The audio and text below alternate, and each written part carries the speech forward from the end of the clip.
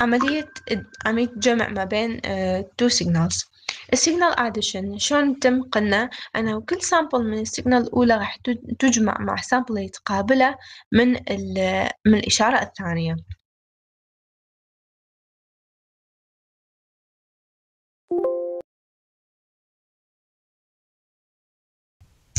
آه، شلون طبعا أخذت هوني من التجربة.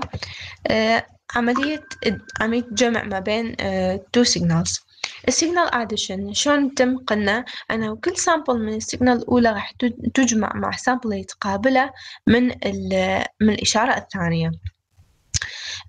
شلون راح طبعا أخذت هون إكزامبل أنه إكس 1 هي بيها ثلاث سامبلات تبدأ من الصفر للاثنين والإكس 2 3 سامبلز من الواحد للثلاثة. لاحظوا أنه لما راح نجمع آه، السامبل اللي موجود بإكس 1 عند الصفر ماكو سامبل تقابله. فبالتالي راح نعتبر القيمة هوني صفر وننزلها آه، مثل ما هي واحد. بعدين هاي تجمع عادي تجمع عادي. وعند الثلاثة ال x2 عنده قيمة بينما x1 ما عنده قيمة فراح تنزل مثل ما هي أو نقول تجمع مع آه، الصفر. لاحظوا أنه الأكسس الجديد اللي اللي آه، يعني الخاص أو الإندكس الخاص بالإشارة الناتجة رايح يبدأ من وين؟ يبدأ من من يغشع هذول إشارتين. يا المينيمم مالتهم ياهي ياهو هذا المينيمم مال الإشارة x1 هو صفر عند الصفر.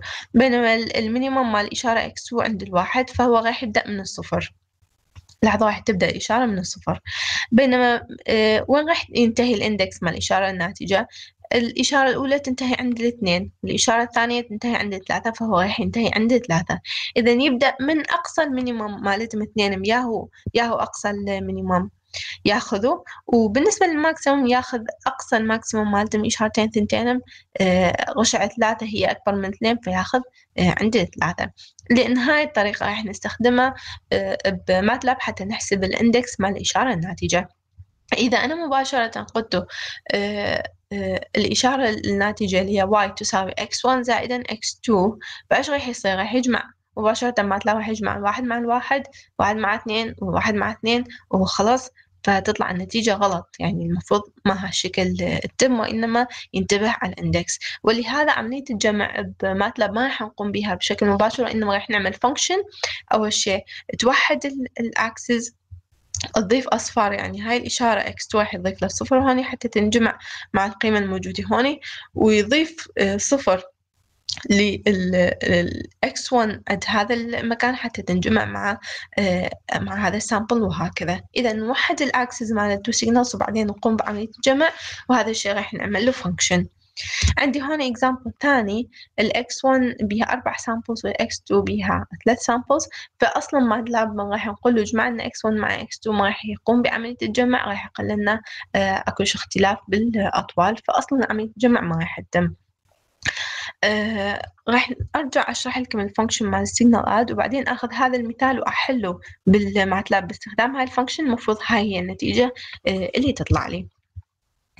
الماتلاب فانكشن تقوم بعملية السيجنال اد يعني هاي نفسها موجودة عندكم بالشيت ممكن أنه تحفظوها بس مهم أنه تتعلموا يعني ما بس حفظ وإنما أفتهم إذا طلب مني الأستاذ أي تغيير على هاي الفانكشن أعرف وين أضيف هذا التغيير يعني ما يكون حفظ وإنما فهم مع هذا الحفظ. الفانكشن اللي هي signal add آه، أكيد لأنه هي راح تجمع two signals. فالمفروض أنه الإدخالات مالتها two signals. X1 وبعدين الإندكس مالته والاكس 2 وبعدين الإندكس مالتها. قبل كل شيء راح راح نوجد الإندكس مال الإشارة الناتجة اللي سميناه آه، الإشارة الناتجة قلنا راح تبدأ من المينيموم تاخذ المينيموم اوف n1 أشنو هو والمينيموم اوف n2 أشنو هو وترجع تاخذ ياه المينيموم بيناتهم هو رايح يمثل البداية مال الإشارة n. نفس الشيء. نقطتين ونرجع الماكسيموم مال هاي الان إيش راح يكون؟ ناخذ الماكسيموم مال n1 ونرجع ناخذ الماكسيموم مال N2 ونرجع نرجع ياهو الماكسيموم بيناتهم هو هذا اللي ناخذه آه، حتى تنتهي بينا ال N. هاي أول خطوة كملناها. الخطوة الثانية أنا رايح أعمل إشارة, إشارة جديدة اسمها Y1 هذه ال Y1 آه، رايح تكون آه راح تكون بنفس طول هذا الان اللي عملناه.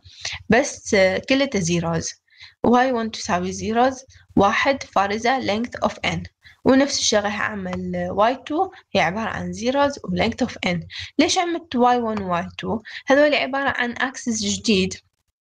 axis هو n. بس ال y1 وال y2 راح يساوون ال x1 وال x2 بس على هذا الأكسس الجديد الموحد. بعد ما عملت عملت y1 y2 هي أصفار إيش راح أعمل؟ راح أقول له تمام تمام أنت خليت y1 أصفار بس بالمكانات اللي اللي آه ان هي ضمن الحدود مال n1 خلي بيها خلي ب y1 ال values مال x1 وبالمكانات اللي يعني بال index اللي تكون قيمة n هي بين ال minimum of n2 إلى ال maximum of n2 خلي القيمة مال y2 تساوي x2 فلاحظوا أنه أنا حددت بال index مال y أنه طالما ال index هو ضمن الحدود مال n2 ضمن الحدود يعني ضمن قيم n2 خلي القيم مع ال samples مال x2 وخليها ب y2 وباقي القيم مال y2 إيش راح تكون؟ راح تكون أصفار. ونفس الشيء بالنسبة ل y1 راح أقله. طالما الحدود مال y1 هي ما بين ال minimum of n1 and ما بين ال maximum of n1 ال y1 تساوي x1 هذول السطرين حاولوا أن تفتهموهم آه وما بهم أي تغيير يعني ما راح يكون بهم أي تغيير. هذول السطرين دائما راح يكونون ثابتين فممكن أنه تحفظوهم. بعد ما آه قم يعني آه هسه تصاعدنا إشارتين جدد هي y1 و y2 لكن هي من نفس x1 و x2 لكن على axis جديد وموحد اللي هو ال n فطالما عملنا هالشكل هسه طول y1 وطول y2 آه متساوي وممكن مباشرة نقوم بعملية الجمع. بشكل آه آه يعني صحيح وبسيط باستخدام آه علامة الزائد. هسه التغيير اللي ممكن أنه أطلبه من عندكم بال... بالامتحان مثلا أقول لكم بدل ما يكون ما تعملوا لي دالة تعمل add أريد تعملوا لي دالة تعمل multiplication. فإيش رايح أعمل أغير هاي كلمة signal add إلى signal multiplication أو signal product. والتغيير الوحيد اللي راح يكون داخل هاي ال function هو هذا الزائد. بدل ما أعمل زائد ما بين y1 و y2 راح أقوم بإضافة dot star ال dot star لأنه عملية الضرب أيضا لازم تكون sample by sample sample by sample. إذا كان مطلوب بدل الضرب أيضا قسمة هم أنا أخلي dot وعلامة القسمة.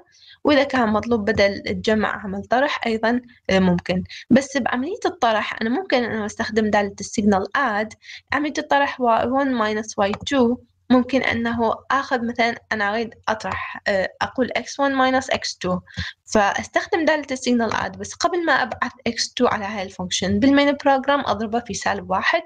فها هي. فراح يصير ال y1 زائدا minus y2 اللي هي تساوي عملية الطرح. التغيير الآخر ممكن نضيفه على هاي ال function أنه بدل ما تكون ال sig... بدل ما تكون ال function قد تجمع رقمين آه قد تجمع عفوا إشارتين خليها تجمع ثلاث إشارات. آه فراح إيش يصير الإدخالات؟ آه راح يكونون ست إدخالات داخل x3 ومعها n 3 وأرجع هون هاي ال n لما أكونها أقول minimum of minimum of n1 فارزة minimum of n2 فارزة minimum of n3 والماكسيموم أيضا. maximum n1 maximum n2 فارزة راح أخلي هوني وماكسيموم of n3 y1 y2 راح يبقى نفسهم بس راح أعمل y لا y جديد اللي هو y3 هوني وراح يعني أعرفها بنفس الطريقة. هي zeros بطول الفيكتور n. ونفس الشيء هوني. مثل ما عملتوا مثل ما عرفت y1 عرفت y2 أيضا راح أعرف y3 أخلي بها القيم مع x3 وأرجع هوني لمن أجمع أقول y1 زائدا y2 زائدا y3 أه نعم. هسه رايح أرجع للبرنامج الرئيسي. ورايح أطبق هذا ال example اللي عندي هوني المفروض أنه النتيجة تطلع لي نفس هاي بالضبط. خمس sample ات تبدأ من سالب واحد إلى الثلاثة ها هي الإشارة. copy paste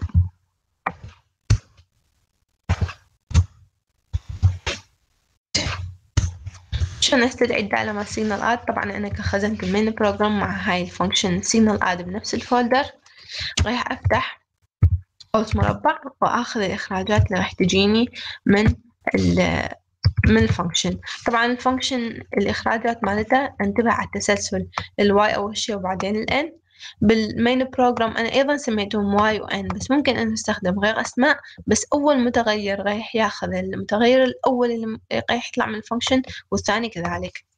أكتب هوني signal add اللي هو اسم ال function وأقواس دائرية راح أخلي بها الإدخالات. طبعا الإدخالات أيضا ممكن أنه تكون بأسماء أخرى ما نفس الأسماء المتغيرات اللي أنا استخدمتها آه، داخل ال function لكن أنا قد أستخدم نفس الأسماء وهذا الشيء هم صحيح ما غلط. بس أهم شيء أهم شيء ننتبه على التسلسل وعدد الإدخالات. هسه أنا مجرد أنه كتبت هذا السطر خلاص. تمت عملية الجمع ما بين هذول ال two signals x1 و x2 والنتيجة هي y فارزة n. ال n هي ال index مال y. شلون آه نعرف أنه آه تمت العملية بشكل صحيح؟ نرسم. figure stem. لاحظوا أنه بما أنه راح أرسم إشارة discrete فلازم نستخدم إيعاز stem بينما بالإشارات ال continuous نستخدم إيعاز plot. stem أول متغير أخلينه داخل stem هو اللي راح يكون على ال x axis فراح أخلي n فارزة وال y هي اللي راح تكون على ال y axis. أنفذ بسم الله. لاحظوا أنه النتيجة اللي طلعت لي تبدأ من سالب واحد وصولا إلى ثلاثة آه، والقيم هي واحد واحد اثنين ثلاثة اثنين. نرجع ال PowerPoint هاي هي القيم. هذه هي الإشارة نفسها اللي المفروض تطلع لي. أه، أوكي. هسا راح أرجع لل sheet مالتنا. و أه، راح آخذ الفرع ستة بي راح أنفذ لكم هو على ماتلاب وباقي الأفرع تكون عليكم إن شاء الله تنفذوها بالمختبر باقي الأسئلة.